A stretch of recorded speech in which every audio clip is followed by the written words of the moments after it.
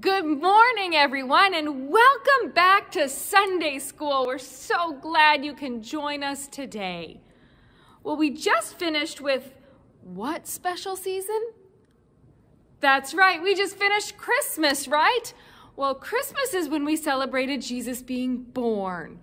Today, we're talking about another event in the life of Jesus, his baptism. Now, maybe lots of you were baptized when you were little bitty babies, but Jesus was baptized when he was an adult. So our story today is 30 years after the birth of Jesus when we celebrate his baptism. And we're going to read that story in just a minute. And then we're going to talk a little bit about our own baptisms. You'll see here that I have some baptism stuff set up for us. So we're going to learn a little bit about all of this stuff today in Sunday school. But before we get started, I think we should sing a song. And when we think about baptism, I like to think a lot about the Holy Spirit and how the Holy Spirit is at work in our baptisms. And we're going to hear more about that in a little bit too. And so I thought we would start our service, our time together, with a song about the Holy Spirit.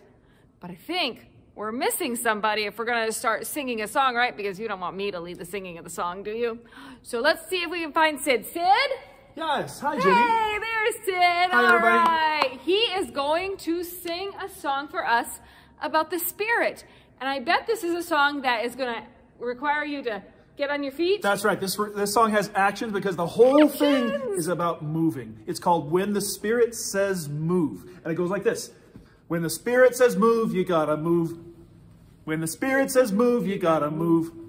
When the Spirit says move, you gotta move, move, move. When the Spirit says move, you gotta move.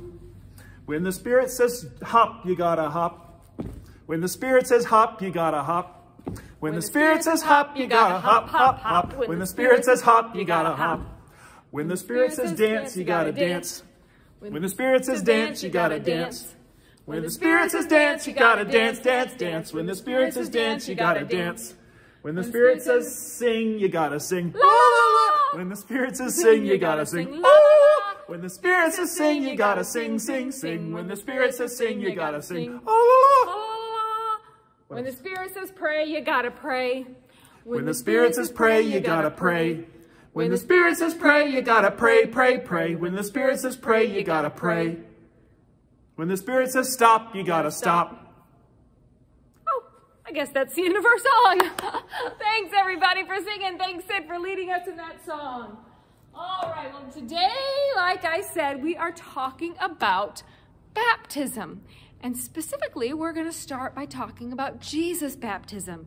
And the Holy Spirit that we just sang about was seen in a very special way the day that Jesus was baptized. So we're going to read that story for you right now from your Spark Story Bibles. If you have a Spark Story Bible at home, this story is found on page 242. 242 is the story of Jesus' baptism. And it says, While Jesus was living in Galilee, his cousin, John the Baptist, was preaching out in the country of Judea. The people loved John and came to see and hear him whenever they could. Sometimes crowds of people came to see John by the Jordan River. When the crowds came, John would tell them, Change what needs changing in your life. God's kingdom is here. The people would promise to change their lives, and then John would baptize them to show them that they were a new person in God's eyes.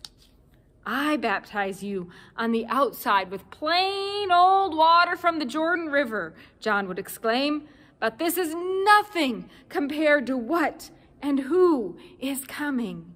The one who is coming will baptize you with God's own Spirit. With God's Spirit, you will be changed from the inside out. While John was saying this, Jesus appeared. He asked John to baptize him, but John wasn't so sure. What? John said. Me baptize you? I think it should be the other way around. But Jesus insisted, Do it, John. God does amazing things in baptism. So John did what Jesus asked and baptized him. All the way under the water in the Jordan River, Jesus went. When he splashed up out of the water, Jesus saw the skies open up and he saw God's Spirit. It looked like a dove gracefully floating down to land on him. There was a voice, too. The voice said, This is my son. He has been chosen and marked by my love. He is the great joy of my life You see the dove there? And you see Jesus coming out of the water as he's being baptized? And you see the crowds of people watching him? That's what happened. Look away. That's what happened on the day that Jesus was baptized. The skies were open. The Spirit descended. God spoke words from above. That's the very special day that Jesus was baptized. And you heard that work of the Holy Spirit in there, right? The Holy Spirit coming down in the form of the dove, right? Well, now let's talk about what happens at our baptisms. Now, we may not be baptized in a river, although you could be baptized in a river, right? But most of us probably weren't. We maybe were baptized right here in this spot or another spot just like it. This is what we call a baptismal font. And the baptismal font is filled with water. Now, right, this is just plain, ordinary water, isn't it? Right? And then we pour it into the font. Ooh, look at that water splashing all over, right? We pour that into the font and it splashes around and we hear that splash of God's love. Well, how does this water, how does this water become so special that it can do amazing things. Well, I'll tell you what happens. Remember the Holy Spirit? The Holy Spirit in this water, combined with the Word of God in the water, is what happens in baptism to make it special, to make this be water that's not just plain old ordinary water, but water of God's love and God's grace. This water signifies to us that we are God's child forever. This water holds the promise of God's love and forgiveness and grace. This water helps us remember that we too, just like Jesus, are God's, what's this word? beloved. We are God's beloved child. I have called you by name, our banner says. You are mine. And when we baptize babies here at this church, we put your name right here in this spot. So I have called you by name, Jennifer. That's what mine would say, Jennifer. I have called you by name, Jennifer. You are mine. Why don't you say that with me, but use your own name and think about how God might be saying that to you right now. I, I have, have called, called you by name, Jennifer. You, you are, are mine. That's the promise that we receive in our baptism as we are united in God's love and God's grace forever through the power of this water, through the power of what God does through the Holy Spirit. And so just because maybe we don't see skies open, maybe we don't see the dove, maybe we don't hear the voice of God literally when we're baptized, that doesn't mean our baptisms aren't just as big of an event as Jesus' baptism was that day. Because in our baptism, God does something amazing for us.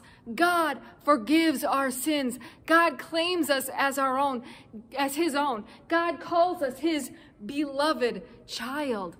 God lights a fire in us, like the fire on this candle right here, to help us to become his child and to be the disciples he needs us to be. So that every day, as we remember our baptisms, we can remember the light of Christ that lives in us through our baptisms. In fact, did you know that at every baptism, including yours, we give you a candle. This candle represents the light of Christ that now lives in you. And one of the things we like you to do with this candle is to light it every year on the day you were baptized, your baptismal anniversary, or maybe you want to call it your second birthday, when you light a candle to remember the light of Christ that lives in you. Our baptisms are the most special day because they are the day that we are washed in God's love and God's grace, the day we are named and claimed as God's child, the day we remember that God loves us and nothing, nothing in this world can separate us from God's love. Now, here's what I want you to do for your Sunday school at home lesson today. I want you to think a little bit more about baptism. I want you to think about what it means to be baptized. And I want you to think about what it means to be God's beloved child. So one of the first things I want you to do is ask your parents or your grandparents or whoever you want to ask today, first about your baptism. What's the date of your baptism? Where were you baptized? And what are some special memories from that day? Maybe you wore something special that day. Maybe there's some special people there that your parents might want you to remember. Talk about what special things happened on your baptism day. Then I want you to ask your parents or and or your grandparents or and your aunts and uncles or brothers and sisters, everybody around you today or anybody you can call about their baptisms. When were they baptized? Do they remember the date? I might be putting some people on the spot here today. Where were they baptized and what special memories did they know about from their baptism day?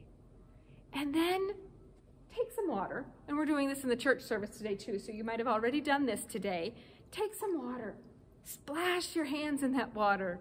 Remember that God's love is in that water, and then remember your baptism. I have called you by name. You are mine. Remember that promise today. Celebrate that promise as you celebrate your baptisms.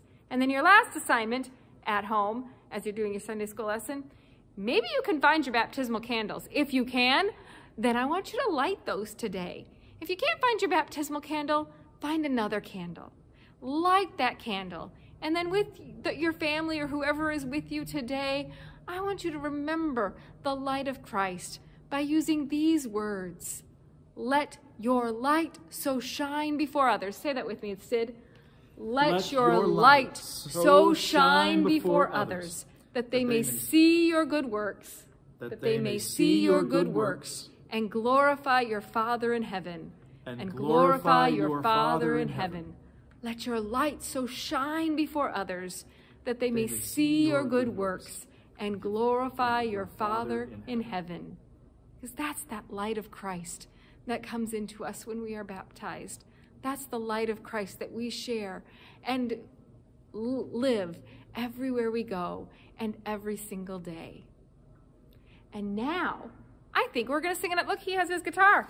I think he's ready to sing another song. So what are we going to sing, Sid? I think we should sing a song that helps us remember how God feels about us at our baptism and how God spoke to Jesus at his baptism by saying, God loves us which is most easily sung in a song called Jesus Loves Me. I like this song. Jesus loves me, this I know,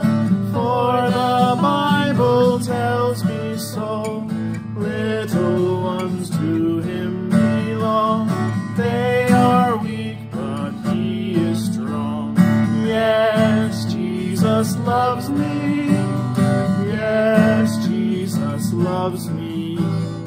Yes, Jesus loves me, the Bible tells me so. Hey, thank you, Sid. Now join me in a word of prayer. Dear God, thank you for the gift of our baptism, for the promise that you are always with us, for the promise that you have called us by name, that we belong to you that we are part of your family forever. Help us to live in the promise of baptism and to shine the light of Jesus every day of our lives and everywhere that we go. Amen. Amen. Now I want you to go and talk about your baptisms with your family. Thanks for joining us, everyone. We'll see you next week.